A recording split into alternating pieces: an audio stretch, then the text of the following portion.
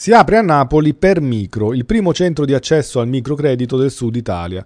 Lo scopo è quello di agevolare il finanziamento di neoimprenditori, aiutando coloro che hanno idee ma non i mezzi per metterli alla prova del mercato, e si indirizza perciò soprattutto a giovani, famiglie, lavoratori atipici ed immigrati. Accrescere capacità di innovazione e competitività però non è l'unico obiettivo. Si arriverà infatti a concedere credito alle nuove imprese anche in funzione della rete e delle credenziali sviluppatesi intorno ai nuovi imprenditori. Le persone non vengono valutate individualmente sulla base solo del progetto che presentano, ma in base alla rete sociale che hanno alle spalle, le associazioni di volontariato, le associazioni attive sul territorio che diranno sì effettivamente questo è un ragazzo che ci proverà, è una ragazza che fino in fondo cercherà di fare del suo meglio. Ciò è molto importante in questo territorio a Napoli per far capire che da soli non si va da nessuna parte, dobbiamo stare insieme, il Comune naturalmente è la rete di tutti e quindi è dietro ciascuna di queste iniziative.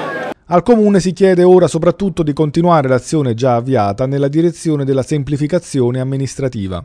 Sarebbe un crimine se di fronte a un ragazzo che riesce a ottenere un prestito per, per svolgere un'attività poi si trovasse un ufficio comunale che non gli fa svolgere quello che vuole fare. Questo lo eviteremo in ogni modo perché sicuramente le persone devono poter sfidarsi col mercato, sfidarsi con se stessi, ma non sfidare la burocrazia. La burocrazia non deve essere mai un nemico. Per l'apertura della prima sede, dopo un iter che ha visto collaborare Comune di Napoli e BNL, è stata scelta Piazza Mercato, una decisione che rientra nel progetto più ampio del rilancio del tessuto produttivo del centro storico. Abbiamo voluto fortemente Piazza Mercato perché vogliamo essere vicino ai centri commerciali naturali, alle botteghe, ai mestieri, far vivere da ogni punto di vista i luoghi della nostra città e il microcredito oggi è una grande opportunità, ci parliamo di soldi, di soldi nei confronti di giovani che hanno idee, Napoli c'è tanta creatività, quindi secondo noi può funzionare, stiamo lavorando sia con questa iniziativa sia con altre e anche con la Regione per ottenere fondi aggiuntivi sul microcredito.